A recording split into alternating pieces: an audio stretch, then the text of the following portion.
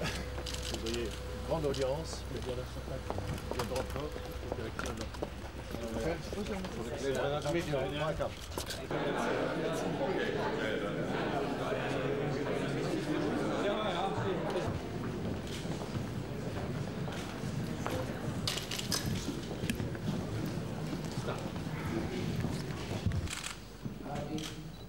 German Council the enormous work that has already been done so that there is effectively a comprehensive solution.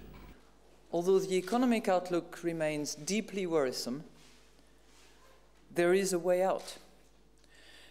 Now, the world must find the political will, the collective will, to do what it knows has to be done.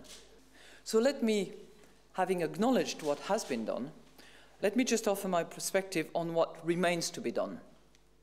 And in my view, there are three imperatives. One is stronger growth, two is larger firewalls, three, deeper integration. It's not something that the euro area partners can resolve exclusively on their own. The rest of the world matters in many ways. We must step up the fund's lending capacity.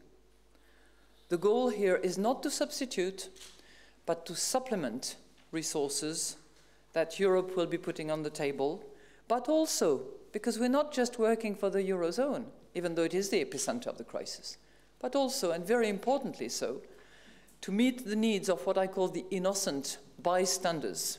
The IMF would aim to raise up to 500 billions of additional lending capacity. This is a defining moment. It's not about saving any one country or any one region. It's about saving the world from this downward economic spiral that I mentioned at the beginning.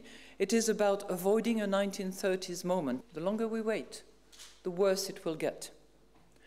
The only solution is to move forward together because our collective economic future depends on that. Just observe that with the euro area economy slowing down,